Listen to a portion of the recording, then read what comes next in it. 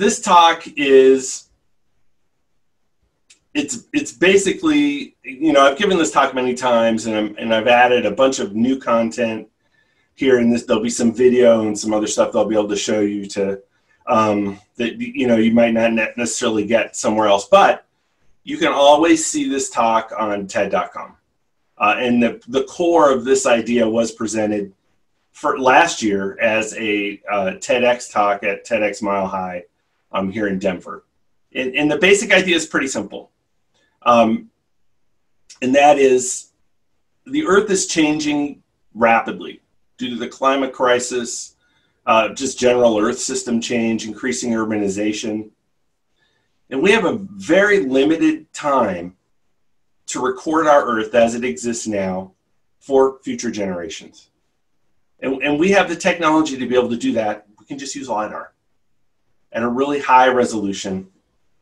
And we can scan the surface of the Earth and everything on it to create a digital twin, a permanent record that we can curate in perpetuity and pass on to our grandchildren's grandchildren. That's the, the, the, basic core idea of this talk. And that's that is the, the, the, the idea behind what we're calling the Earth Archive, which is a which is a, a designed to promote this kind of global scan, scanning, and then create a digital seed bank to preserve those records in per, perpetuity.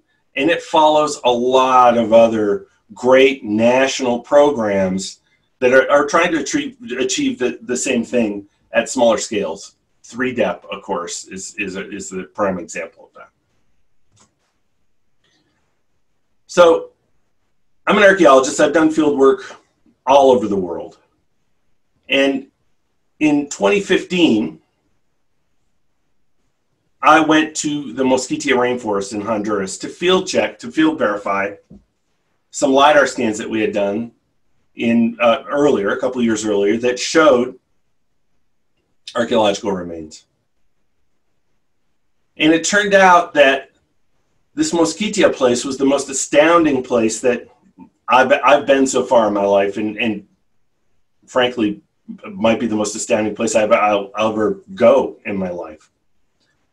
So, having done field work all over the world, I thought I, I knew what to expect. I thought I had a pretty good handle on what, what I'd encounter.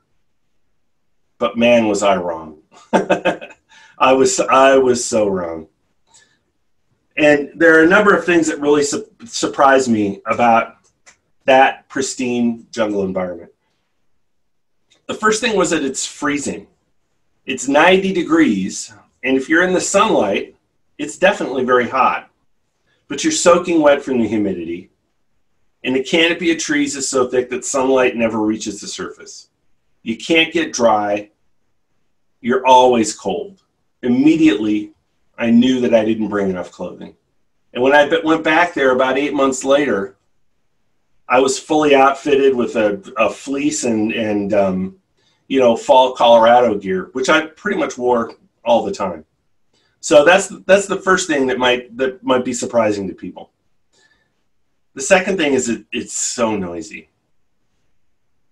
So that first night, I felt things moving underneath my hammock unknown creatures that were um, brushing and poking against the thin nylon fabric. And it was so noisy I could barely sleep. The jungle is loud. It's shockingly loud. It's like being inside of an airplane. It's like being downtown in a bustling city.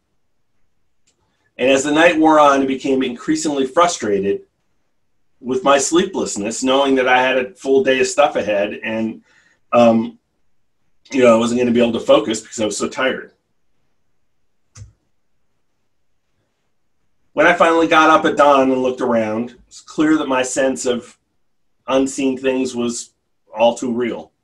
Or hoof prints, paw prints, linear snake tracks everywhere.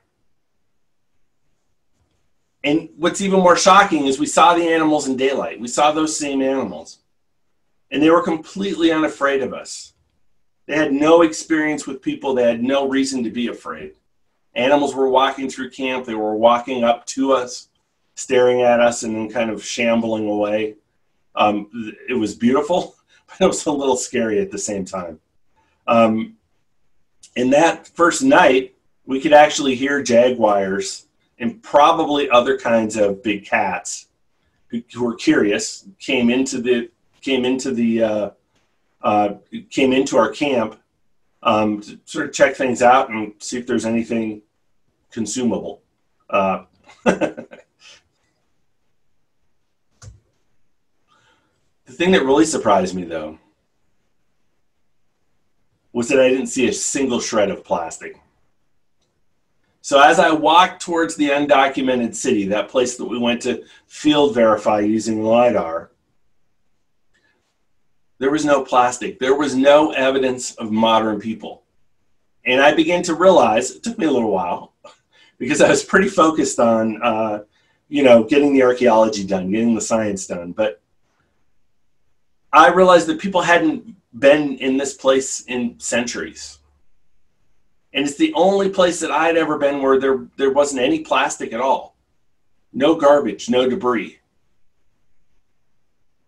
And that's when I really began to realize what a, what a special place this was and what a special experience that, that I was actually having in this place.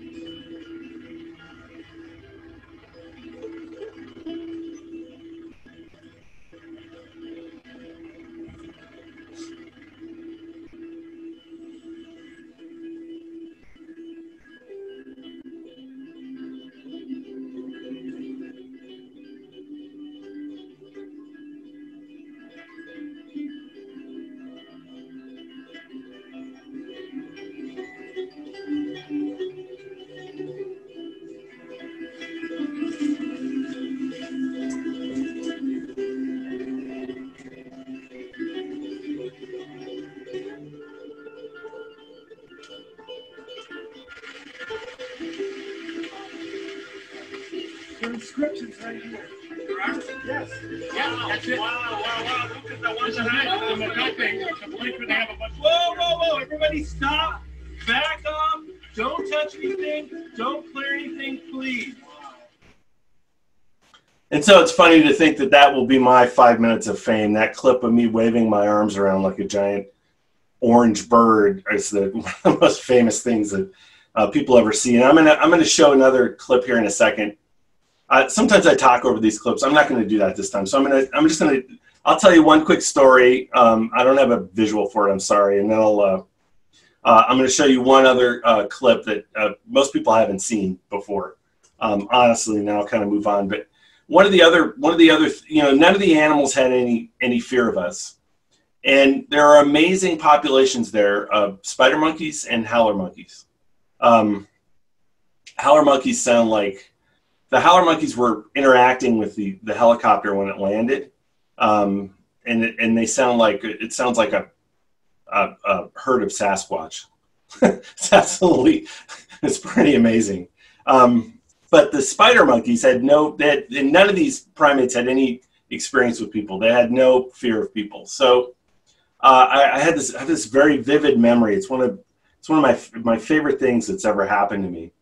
Um, we were, you know, walking through surveying, looking at one of these sites, and there was a troop of spider monkeys uh, there was dominated by a, a, big, big male and then a harem of females. And the male was not happy that we were in his space at all. And um, he, uh, so he proceeded to let us know that. And I was in the lead of this group of people that was moving through this area. And so um, his way of, of making his uh, displeasure known was by throwing stuff at me. And so he was kind of up in the trees above us and he was getting closer and lower and lower to me um, as as we didn't react to him or move away, and he started throwing branches and leaves or whatever. And then finally, he's like, "I'm gonna up the ante. I'm going to DEFCON five. So he did the most insulting spider monkey thing that he could think of, which was by peeling these giant, beautiful flowers off of the top of this tree, and he started throwing flowers at me. So these flower petals are sort of raining down on me. And I'm like, wow, this is really, this is a unique thing that's happening here. This is a unique experience that, that, that we're, you know, in the midst of. And, and, and that's when I really begin to realize that this is something different that's happening here. I'll show you one other clip. And I like this clip because it shows sort of surveying, it shows us using technology. And then for this documentary, they have a very unique way of illustrating the point, crowd, point cloud, which I, which I also really like. So I'll just let this play.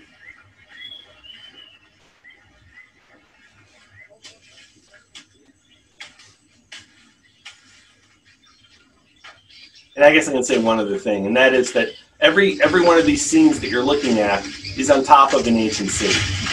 So there's house mounds, pyramids, roads underneath all of this, As long as you stay within and you, visual you contact. never be able to see it Keep popping without lidar. Behind me every now and again, make sure we've got You have no idea it was there. Chris had a very sophisticated GPS unit, which had downloaded the LiDAR maps, and it showed where he was on those LiDAR maps. It's actually not so Geo sophisticated 7 now. top of the line handheld survey instrument. So it shows you in real time where That's you only a are, what's on there. ago. You can also trace and digitize your features on here, and you can collect points. You can plot artifacts. So let's go up. Let's go up on top of this one and work our way back down that way. So it shows you in real time where you are. It has the GPS receiver antenna. It has a built-in, very sophisticated barometer, corrective satellites, and nice math engine. All that stuff together means that once we're out here and we get a signal, you can walk for I think over a kilometer. So right now I'm getting accuracy of 70 centimeters or so. All right, let me look over this edge here.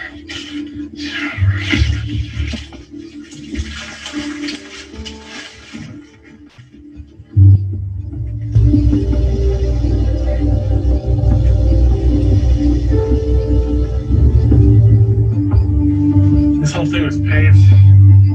It's all covered in sediment. The whole surface you're walking on was paved. Though.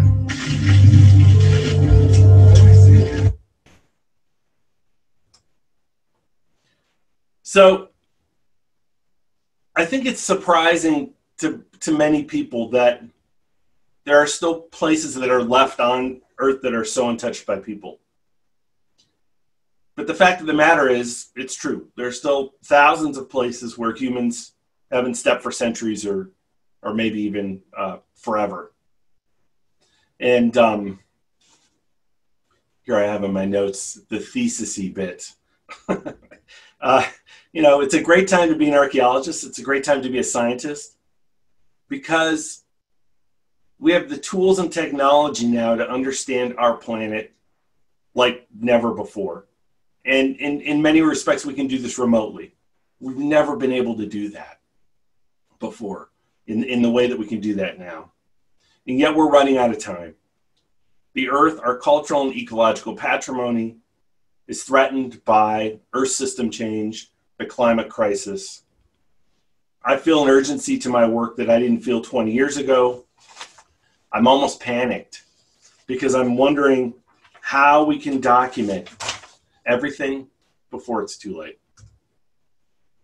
I was trained as a traditional archaeologist using basic methodologies that have been around since the 1950s, some of them actually since World War One, prior to World War, turn of the last century. And that all changed for me in 2009 in Michoacan, Mexico. I was studying the ancient Purepecha Empire, which is a lesser known but equally impressive counterpart of the Aztec. Two weeks earlier, my team had discovered an ancient settlement. So we were painstakingly documenting building foundations by hand, uh, hundreds of them. And the basic archaeological protocol when you're in that sort of situation is to find the edge of the settlement so you know what you're up against. And finally, after a week or so, my graduate students convinced me to do that. Find the edge, basically. They were like, find the edge, Chris. I'm like, okay, I'll go find the edge. Why don't you go find the edge? No, all right, I'll go find the edge. So grabbed a couple of cliff bars, some water, a walkie-talkie, and I set out alone on foot. And I was expecting to encounter the edge, doing air quotes here, in just a few minutes, but minutes passed and then an hour. Uh, finally, I reached the opposite side of the Malpais, which is about a, oh, maybe two kilometers away or so. I was walking very slowly. so I said, Oh, I said out loud, there are ancient foundations all the way across. It's a city? Oh, shit, it's a city. And I said, Oh, shit, because as soon as you invoke that term city in archaeology, it just ups the ante. Everybody's paying attention. The city wasn't supposed to be there theoretically based on the current models that we had for the development of this empire. It's not mentioned in historic documents. People are going to question what we found. They're not going to believe that we could see what we were able to see. They're not going to believe that this city had been there for decades and decades, centuries, really, without anybody knowing about it. It turns out that that seemingly small settlement that we discovered was actually an ancient urban megalopolis, and we now know that it covers about 26 square kilometers. So it's a lost city with as many building foundations as modern day Manhattan. An archaeological site so big that it would take me decades, the entire rest of my career, to survey fully, which was exactly how I didn't want to spend the entire rest of my career. Exhausted, sweating, placating stressed out graduate students, tossing scraps of PB&J sandwiches to feral dogs, which and and this is also kind of an interesting, crazy thing. You know, here in the states, if my dog gets a whiff of peanut butter, he goes absolutely bananas. But people in Mexico really don't eat that. They don't eat peanut butter. And so the dogs have no experience with peanut butter or any of the processed foods that we would eat. Um, you know, we that we eat today. So my students and I, we have American, we have PB and J sandwiches, which is something that most people there would never eat. They think it's gross, and the dogs have zero interest in it. They won't. They won't eat the sandwiches if you present them to them. Um, just the thought of doing all of that for years and years bored me to tears. Uh, so I returned home to Colorado, poked my head through a colleague's door, and I was like, dude, there's got to be a better way. And he'd asked if I'd heard of this new technology called LIDAR which I hadn't, and I looked it up, and everybody here knows what lidar is, so I don't have to go through the rigmarole of what explaining what uh, lidar is. But um, one thing I want to point out is that with lidar, of course, you record the Earth's surface and everything on it at a very high resolution, and that makes those uh, records the ultimate conservation records that are useful for an incredible host of scientists, not just archaeologists, which I'll talk about here in a minute. I had just enough money left in the budget for a scan, so we did that. We, that's the first of two scans that we've done there. We used Merrick from here in Colorado. Merrick went to Mexico, flew the LiDAR, and sent back the data. And over several months, I learned how to practice what we call digital deforestation, a term I stole from another MAPPS member, Ron Chappell filtering away trees, brush, other vegetation to reveal the ultra all the, the cultural landscape below. And when I looked at my first, when we first started to learn how to use these LiDAR records, when I looked at my first visualization, I began to cry. I teared up because in just 45 minutes of flying, the LiDAR scan collected the same amount of data as what would have taken decades by hand. Every house foundation, road, building, terrace, pyramid, incredibly high resolution, representing thousands of people were born, loved, lived, and died in these spaces. And what's more, the quality of these data weren't compa- it wasn't compar- comparable to traditional archaeological research. It was much, much better. I knew this technology would change the entire field of archaeology and beyond in the coming years, and it and it has.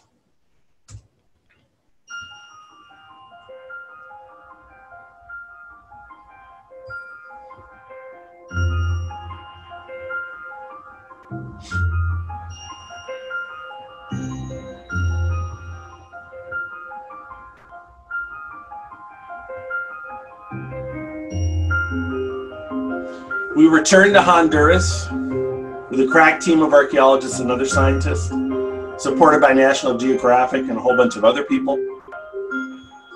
And in a month, we excavated over 400 objects from what we now call the City of the Jaguar. Felt a moral and ethical responsibility to protect the site as best we could. But in the short time that we were there, the site inevitably changed. Gone was the, the tiny gravel bar where we first landed the helicopter. The grass was chopped down and the trees were removed to create a large landing zone. And without it, after just one season, the ancient canals we'd seen in our LiDAR scan were damaged or destroyed. And the Eden that I had first seen soon had large clearings in the central camp with lights and an outdoor chapel.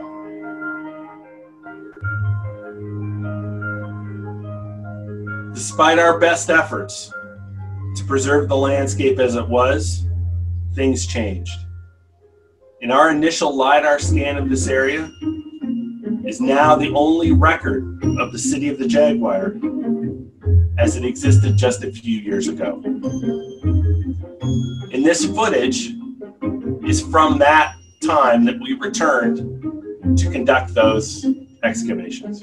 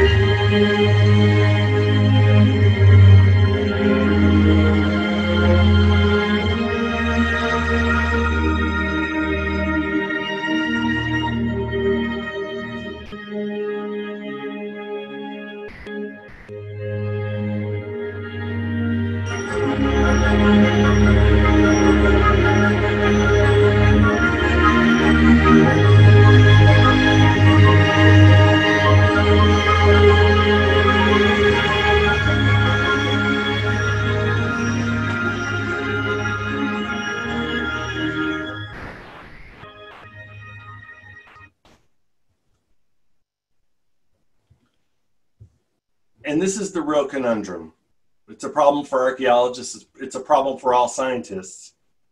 It's impossible to study an area without changing it in some way. And regardless, the earth is changing. Ancient, ancient sites are being destroyed, ecology is being lost, history is being lost. Just recently, we watched in horror as the Notre Dame Cathedral went up in flames. The iconic spire collapsed and the roof was all but destroyed.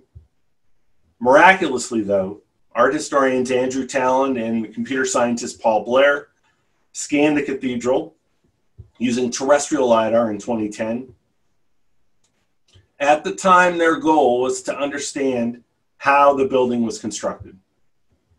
Now their LiDAR scan is the most comprehensive record of the cathedral, and it'll prove invaluable to whatever form the reconstruction takes. They didn't anticipate, they never could have anticipated the fire or how their scan would be used, but, but we're lucky to have it. We take for granted that our cultural heritage will be around forever. It won't. There are organizations like CyArk that are doing incredible work to scan historical monuments, but nothing similar exists for the Earth's landscapes. We've already lost 50% of the world's rainforests. We're losing 18 million acres of forest each year. And rising sea levels will make whole cities, countries, and continents unrecognizable. Unless we have a record of these places, no one in the future will even know they existed. Notre Dame is a tragedy, but to my way of thinking, we are losing hundreds of natural cathedrals, three football fields every minute by some calculations, in the Amazon alone. And the real tragedy, from my way of thinking, is that we will never know what we have lost because we don't have a record of these places. We don't even know what's there. And here's my great grand quote from the talk. uh, and people have already stolen this this quote. Uh, if the and that's fine. If the Earth is the Titanic, we've hit the iceberg. Everyone's on deck, and the orchestra is playing. The climate crisis, Earth system change, threatens to destroy our cultural patrimony, our e- ecological patrimony within a few decades. Sitting on our hands and doing nothing is not an option. Shouldn't we save everything we can on the lifeboats? Looking at my LiDAR scans from Mexico and Honduras, it's clear that we need to scan, scan, scan as much as possible as quickly as possible before it's too late. And that's what has inspired the Earth Archive. Our an unprecedented scientific effort to LiDAR scan the entire surface of the planet, starting with areas that are most threatened. And that's exactly what we're calling for. A massive international effort to LiDAR scan the entire land mass of the planet, 29.2% of it, to create a digital twin a digital comprehensive baseline database, database of the Earth's surface and everything on it at a high resolution, something from which you can make products that are equivalent to at least 25 centimeter pixels. It is open sourced and accessible to as many as possible. We are aware and applaud previous calls to use new remote sensing technologies such as LiDAR to record broad areas of the Earth. And there are several national initiatives, such as 3DEP in the United States. These efforts are limited in geographic distribution, and the resolutions that are called for in these applications are inadequate for those needed for cultural heritage management, and many ecological studies. So we're calling for a higher resolution record. And the purpose of the Earth Archive is threefold. Number one, create a baseline record of the Earth as it exists today to more effectively mitigate the climate crisis. The only way to measure change is to compare two sets of data, a before and an after. Right now, we don't have a high resolution before data set for most of the planet, we have better maps of the moon than we do of our own planet, frankly. So we don't know how things are changing and whether our efforts to combat the climate change, climate crisis, are making a positive impact. Number two, build a virtual planet, a digital twin, accessible to any number of scientists so we can better understand our world today. Archaeologists like me can discover undocumented settlements, Ecologists can study forest composition, tree size, age, and distribution. Geologists can study hydrology, faults, disturbances, and so on. I mean, the, it's it's, en- it's endless what these records could be used for. Number three, preserve a record of the earth for our grandchildren's grandchildren so they can study and recreate our lost cultural and ecological heritage in the future. As science and technology advance, they'll apply tools, algorithms, and AI to LiDAR scans done today and ask questions that we can't currently conceive of. Like Notre Dame, we can't imagine how these records will be used, but we know that they'll be critically important. The Earth Archive is the ultimate gift for future generations. Because the truth is, I, I won't live long enough to see its full impact. And neither will you, but that's exactly why it's worth doing. The Earth Archive is a bet on the future of humankind, a bet that together, collectively, as people and as scientists, we will face the climate crisis and that we'll choose to do the right thing, not just for us today, but to honor those who came before us and to pay it forward to future generations will carry on our legacy. And I think we've seen, we, we've, been, we've been given a, a small window, a small gift of future vision that has come out of the, the climate crisis. You know, it's really, it's fascinating to me because I'm old enough. I mean, I'm very, I'm, I'm old, but I'm, I am, you know, you know, I teach these, these students that don't have a memory of what the United States looked like in the 1970s. And I remember going to big cities in the US when I was a small kid in the early 70s, and I remember how smoggy and horrible they were. I remember what they actually looked like, as many of you probably do as well. But they, but they don't understand how effective, for example, the Clean Air Act has been. And so here, here we have three views, 1970. So I have to explain this to them. I have to show them. It's fascinating to me. I have to show them pictures of, um, you know, New York City and LA and Detroit and all these places so smogged in that they look like Beijing or something uh, today. And then we look at a view of what those places look like today. And then during the climate crisis, they were so clear. You could see the mountain, you know, you could see the mountains behind LA as shown in this slide on the right. And so we've been given, you know, from my way of thinking, we've been given this window of what the what the Earth could look like in the future. And it's also given us the opportunity to think about what kind of world we, we want to see over the next century. The Earth Archive can help us build and plan that future world. And from my way of thinking, and I hope you'll agree, it's fundamental.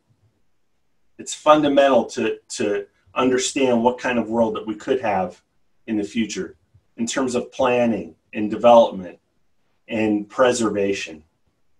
And so, what is the status of the Earth Archive today? Well, there are many technical grand challenges for the Earth Archive. Probably the social challenges are the hardest to solve permissions, access, capacity building, in analytics. This will be the true test of the Earth Archive, not not the actual logistics and the mechanism behind the scans and all that sort of stuff. Our first camp campaign is centered on scanning the Amazon. And we've begun to plan this work for early in 2021.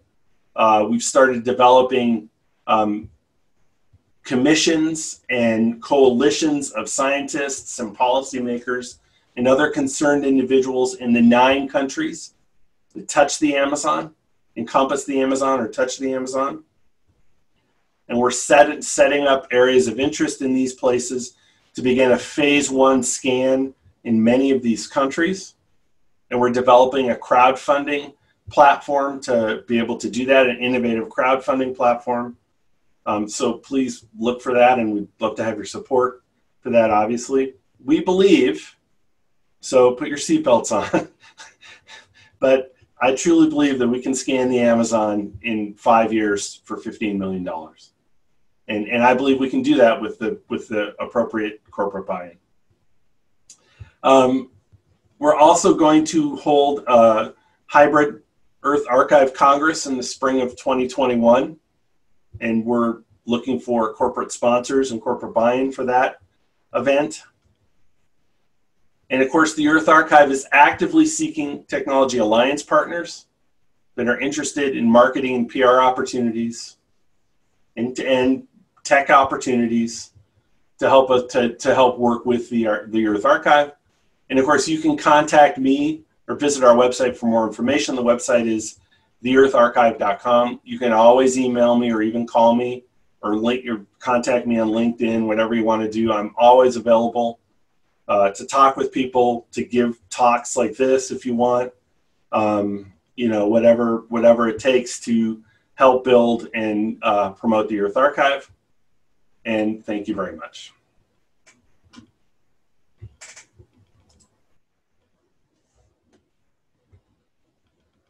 And I think there's time for, uh, I hope, I think there's time for questions. If people have questions, they can put a question, uh, they can put a question in the, the Q&A box um, or contact me.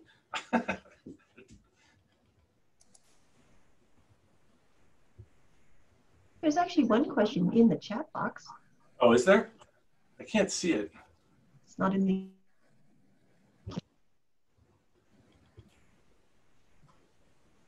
Uh, open questions. I see it. Could you just tell me what it is, Anne? Because I can't see it for some reason. Oh, what was the most unusual artifact you covered? So, uh, so okay. Um, there is a. Uh, so the artifacts at the at the city of the Jaguar were was a it was a cache of over 400 objects that were left there, and the artifacts were um, manu- manufactured from ground stone. Uh, so they were polished and, and carved stones um, that were probably then painted and decorated. Most of them were seats. They're called metates, uh, like mano and metates, but that's not actually what they are. Um, but they're seats. They're actual ritual seats. And one way that you show your eliteness in Mesoamerica and in the Americas in, in general is by not sitting on the ground. Common people sit on the ground. Elites, um, elites sit uh, up on up on these seats. These artifacts were probably left there when the city was ritually closed. Uh, we believe it was from the impacts of European disease uh, at the time of European conquest. And so the seats were around arranged in sign of sort of a, a final council and then ritually left there in the same way that you might close a church. At the center of that cache was a small bird effigy made out of stone. Uh, very important ritual item. Probably represent might have represented, for example, um, one of the, the sort of most important or main um, clans or groups within that city. And it was left at the center of the cache. It was completely encircled by roots. And we actually worked very, very carefully for several days to release that, that object from those roots so we could recover it. And it was as if the city didn't want to let the object go. And finally, at the very end, the one of our last days, one, one of our last days there to uh, to actually remove the the objects, finally the root system just literally let the object go. It was, it was very, um, it, was, it was very, frankly, it was very touching. So for me, um, that was the most, that, that was the most important, most amazing object that we recovered from the, from the actual city of the um, Jaguar.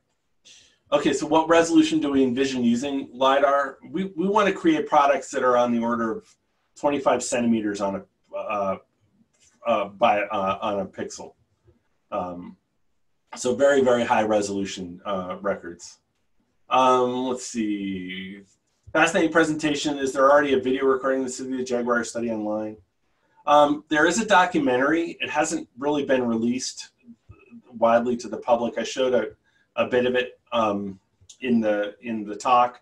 There is a National Geographic Explorer episode that actually talks about the city. It's from 2015, October 2015, I think, and that is available on Amazon. If you go to the, the National Geographic Explorer channel um, on Amazon, you can buy it. It's like 99 cents. It's honestly not that expensive.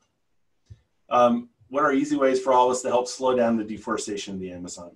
Well, when we do the crowdfunding, you can uh, you can contribute to the Earth Archive and help uh, sponsor that those scans that we'll do of the Amazon. Um, but I think the most important thing that we can do is to help our friends and neighbors in South America politically that are uh, battling with current administrations there to help halt uh, deforestation. And there are several organizations, uh, conservation organizations, that are uh, that are helping with that um, sort of uh, battle. Um, small question about your just wondering how do you make decision to go to the place you think you'll find something valuable? That's a great that's a great question actually. And um, for a modern archaeologist excavation is kind of the final thing that we would do. And many people don't do excavation because it is uh, you know archaeology is the only science that destroys its evidence um, when it undertakes its study. You know we can't um, we can't go back and replicate an experiment like other sciences can you know so we can't go and add you know five liters of orange liquid to the blue liquid and then get a whatever liquid kind of thing. We can't replicate our studies. So we're typically very very careful about excavating. And it's kind of only done as a last resort really. And and and that's the interesting thing about lidar and some of a lot of these digital recording techniques is that for the first time uh, archaeology and ecology and many of the observational sciences um, will actually be able to go back and replicate uh, their work. So it's actually interesting in that way. But the places that we study are there's a long string of decisions that we make, and it all has to do with the questions that we have about why people organize themselves in certain ways in the past and what influenced their decisions. So, for example, I, I'm one of the things that I've always done is study ancient landscapes, land use, uh, ancient human impacts on the landscape, and I've looked at uh, urban areas and how those areas are impacted and change the landscapes around them. So the decisions about where I excavate, there's a long string of theoretical things that I go through that help me determine which sites to sort of uh, uh, look at. Um, who makes up the international effort of the Earth Archive? Well, that's us here in the. We're based in Colorado, but we have uh, the broader Earth Archive community now is starting is made up of scientists, poly, policymakers, stakeholders in the member countries where we're going to actually do these scans. So right now we're focused on our first campaign will be the Amazon.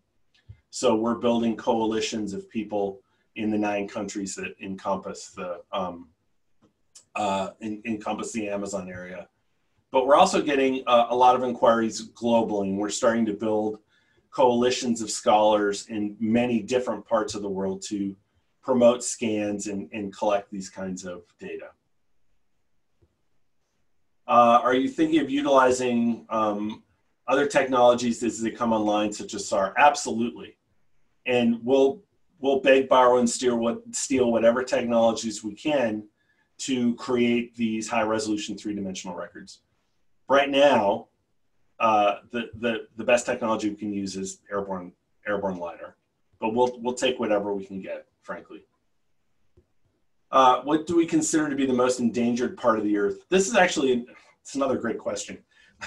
and you know what what I consider endangered or what I feel is the most endangered place is not something that you know other scientists might do. You could, we could probably get 20 scientists in the room and and you know ask them for their top five endangered places and we'd get a different hopefully we get similar places but probably we wouldn't get slightly different places so one of the things we want to do and, and i think there's obvious places in that i think the amazon to my way of thinking, is is possibly the most endangered place right now, uh, especially given what's happening in Brazil.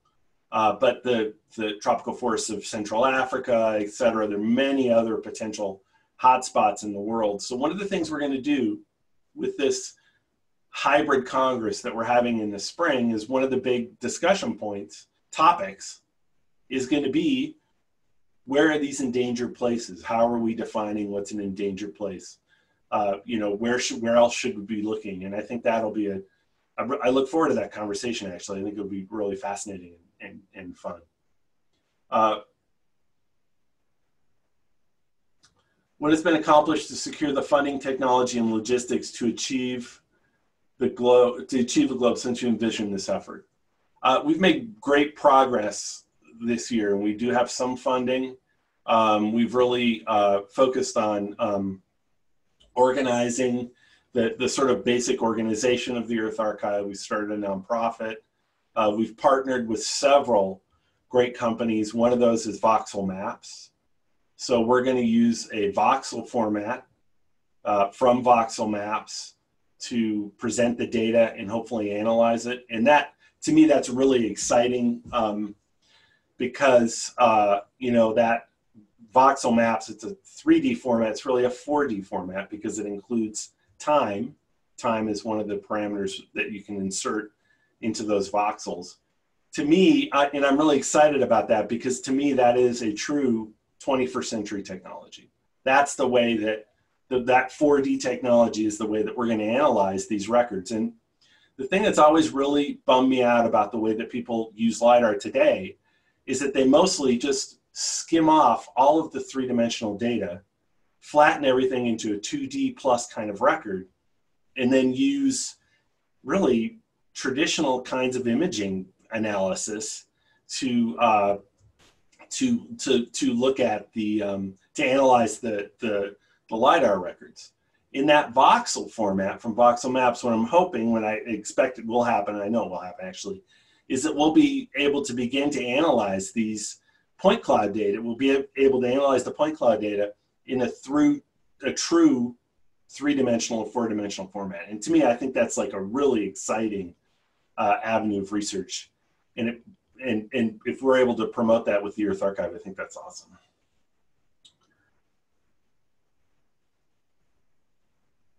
Uh, we have Mike Tully. What resolution points per square meter lidar data did you acquire over the site? Do you know what the horizontal positional accuracy was of this data? I do. I don't know that offhand. I mean, I have all those specs, and if you give me a call, we can. I can share some of that information with you.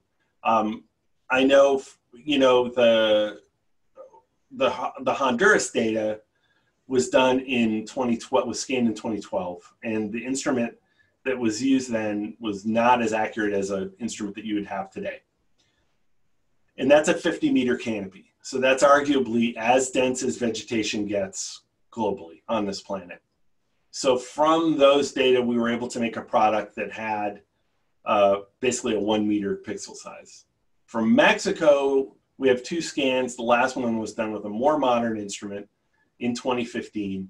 And from those data, we typically use a product that's 25 centimeters uh, on a side per pixel on a side. So it's a little higher resolution, but it's also it's a it's it's not a 50 meter canopy; it's a 20 meter canopy. So it's a little different. Uh, the vegetation obviously isn't as dense, but I do have those tech the tech data, and I should say I'm not a tech person. I'm an I'm just an archaeologist. you know, so um, we have people. There are other people you can talk to that know know more about that specifically. But why aren't those guys in the video also? Well, I was definitely sweaty. Thanks, Anne, for that question. Um, I definitely was sweaty. Uh, I don't know about the other guys. Uh, I know I lost a lot of weight. It's a great way to lose weight, actually. I lost like maybe 10 pounds in a week there or something. It was awesome. Uh, Chris, thank you for your insight. Can you please share any of the LiDAR technical collection plans for the Amazon? We're developing those plans right now. Um, and if you want to get involved with that, uh, Brian, please, please contact us. Um, the logistics are going to be a bear. And, and we're trying to, we're working on that right now as you speak, as, as we speak. Um, to my and you know again I'll, i want to reiterate you know there there are a lot of grand challenges associated with creating the earth archive i think as everyone can imagine or knows some of those are centered on tech things scanning how we're actually going to do the scans logistics wise and stuff. Those are all solvable as far as i'm concerned. The real issues again are are the social issues. Getting the permissions navigating the political um, the political uh, climate of these various countries, trying to remain sort of politically neutral if we can. Those are, and then capacity building, uh, dealing with stakeholders, indigenous people, all that sort of, those are the real big challenges I see for, um, for the, uh, for the Earth, Archive. Earth Archive. Um, are you using the integration of LiDAR imagery and photo point clouds and other sensors in your work? Uh, from Mark uh, Saigan, I guess Saigan.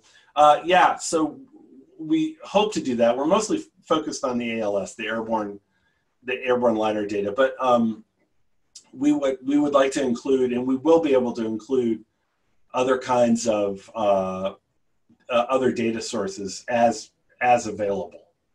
Um, how do you handle the safety regarding the local social and political environment? From Connie. Um, you know, that's also a huge issue, and it's something that we really faced in, in Honduras. I especially faced that in 2016 when we went back uh, to do the excavation. Um, you know, this work is important, the archaeology is important, but it's not worth dying over. And so safety is a, a, a absolutely a, huge concern.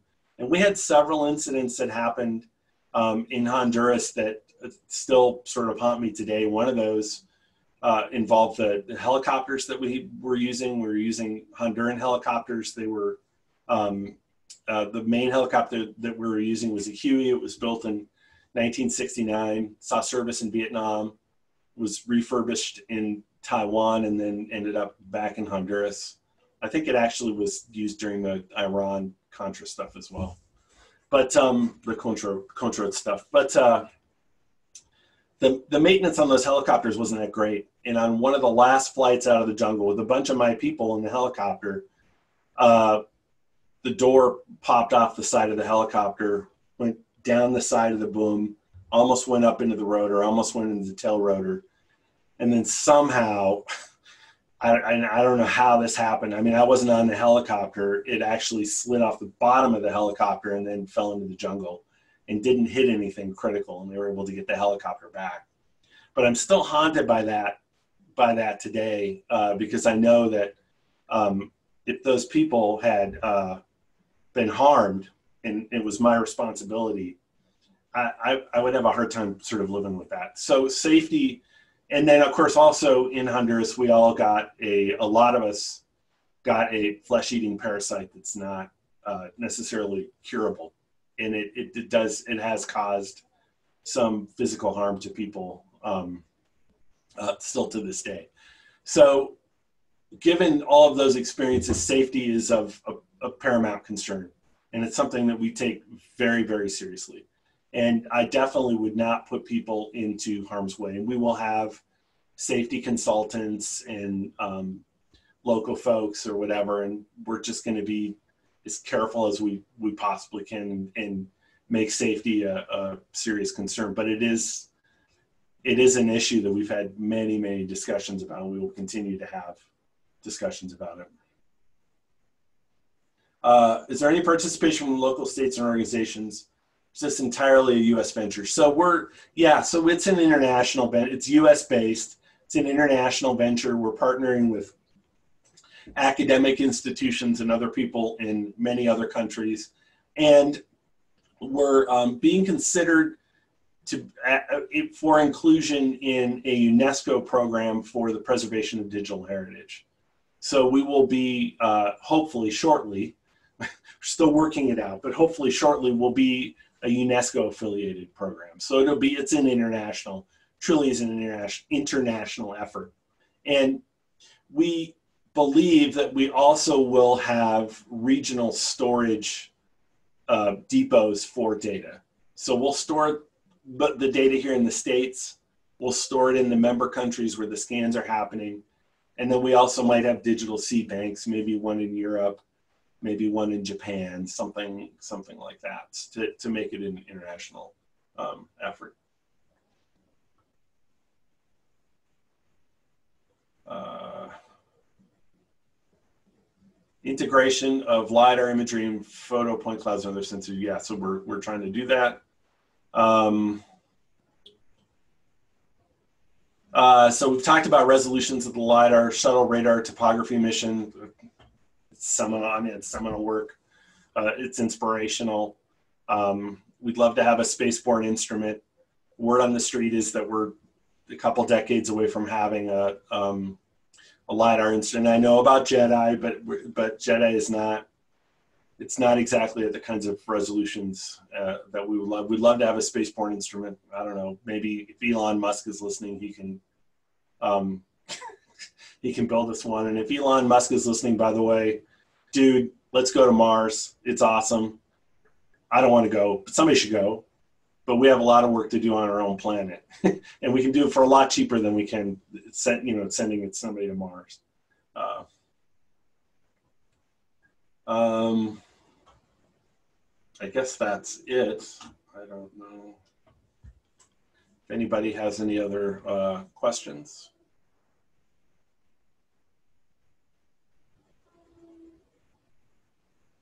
Well, if you want to contact me, send me an email, give me a call, contact me on LinkedIn, go to the website, theeartharchive.com. Uh, you can contact me anytime, very accessible. Um, you can contact anybody from the Earth Archive. Would love to talk to you. I'll give talks or presentations to anybody that so desires. Uh, if you want to hear me talk, people want to hear me talk, I'll definitely do that. Um, thank you very much. Uh, I think, Mark, are we? Am I? Am I good to go? I think you are, Chris. That was awesome. Thank you. Thank you so much, everybody. Um, I would think that our membership would really like to have you back at some point. A lot of times at, at our events, um, our spouses and our children are there. I think they would have found this fascinating as well. So thank you very much, Chris. We appreciate yeah, thank you. I'll give a talk to anybody anytime. Just let me know. Thanks a lot, everybody.